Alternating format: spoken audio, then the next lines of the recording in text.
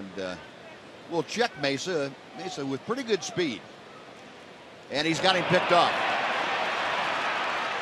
That's one way to check him. And Profar racing back tags him. And the pickoff goes 1-3-6.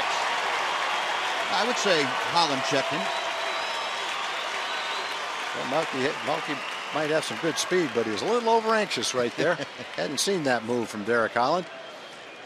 Although he'd seen the move from the dugout, he should have watched all the pickoff throws that Suzuki saw. I'm not sure he was going on that play. No, I just take, so. he was just taking his secondary lead.